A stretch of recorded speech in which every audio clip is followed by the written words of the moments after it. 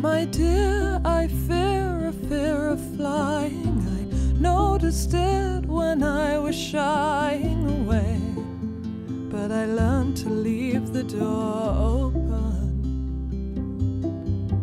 And now when I look all around me, I am overwhelmed that you found me and how many friends I have now.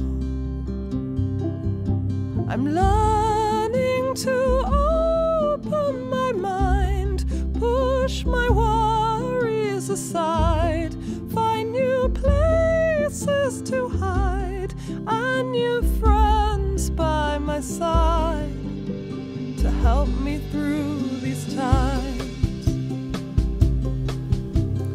Once I was a lot more lonely, but now with all my friends we walk and look towards new horizons.